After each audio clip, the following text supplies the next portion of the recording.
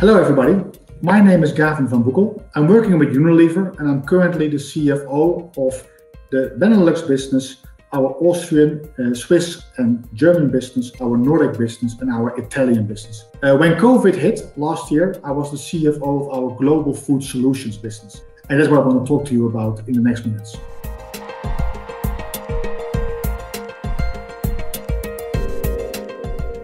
So last year, I changed my perspective on two elements.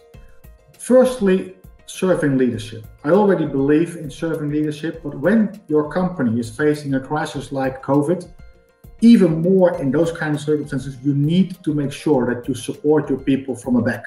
And you need to give them uh, the opportunity to define for themselves what is best done locally.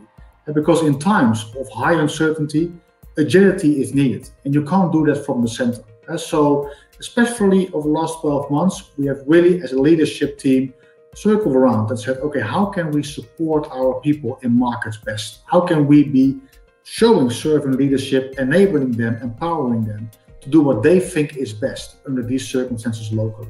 So, one element is that. The second element is all around how do we prioritize? And prioritization is, of course, key, but in times of crisis, even more so. How do you really say what is your number one, two, and three priority? And for us, that was clearly our people first. Are our people safe? Are the families of our people safe? And that was the foremost priority we did in the first couple of weeks after COVID hit. Then looking at our customers. We serve, as Unilever Food Solutions, many restaurants around the world. And those were in dire needs. When you close down the restaurant, eh, there's no income, but fixed costs continue. And then thirdly, it's our own business model. How do you make sure you still have cash to pay the wages, and etc We really went about it in that order over the first couple of weeks. And I think that prioritization also gives clarity to the people. And so we didn't give them four or five messages coming down at the same time. It was us as leaders having a very clear narrative and saying, now it's number one, number two, and number three.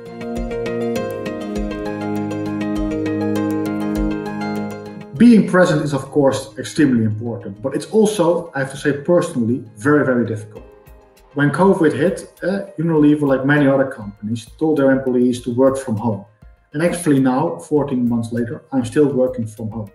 So you don't have any connection with your colleagues other than via what I always say the autistic black box in front of you called the PC.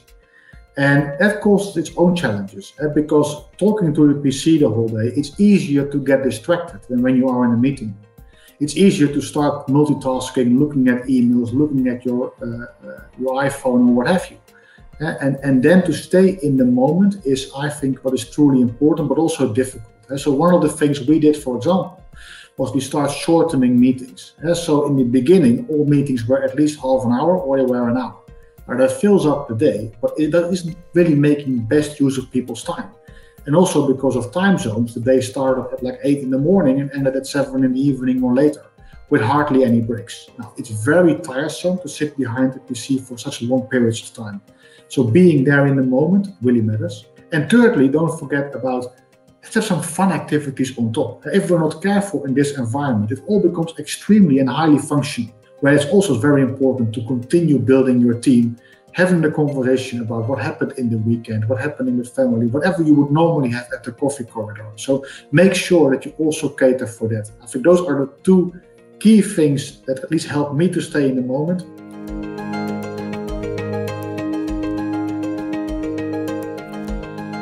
So the future of leadership, I think two things are very important. One point I already spoke about, and that's serving leadership. I think in a world that's getting more ambiguous, more uncertain, old command and control structures don't longer hold. I think it's our job as leaders to really enable our people to be the best they can be, to give them the best possible tools and the best possible ways of working, to then get the best possible outcome, and giving them the freedom in the framework to operate how they see fit. And trust the people to do what's right rather than try command and control. The second part, I think, which is very important, is around purpose. Uh, in Unilever, we pay a lot of attention to finding your purpose, but then also living your purpose. And I think if somebody is doing a role that's really at the heart of their purpose, the heart of what makes them tick, they will also be great individuals in doing that job. They will be successful in that job. And I think having more of that human touch to it. So, how can we match a person with their purpose two roles and two opportunities is that they will only become more important going forward, where the younger generations find topics like purpose, like finding a meaning, even more important than the older generations.